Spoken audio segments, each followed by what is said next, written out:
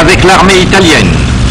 Au camp d'aviation d'Adigrat, une escadrille de bombardement fait son plein de projectiles en vue d'appuyer l'avant de l'infanterie sur Amba Ogay. Le comte Chano et les deux fils du Duce sont parmi les pilotes de l'escadrille.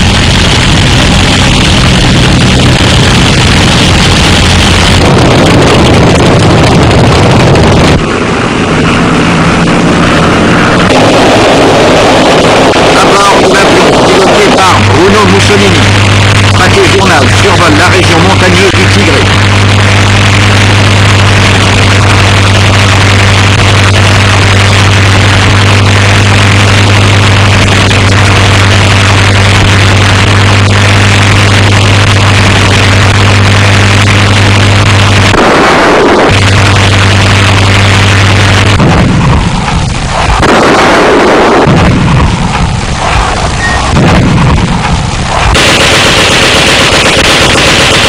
Les soldats éthiopiens se replient devant l'attaque. Les troupes indigènes italiennes montent à l'assaut des positions ennemies. Une sentinelle est frappée mortellement.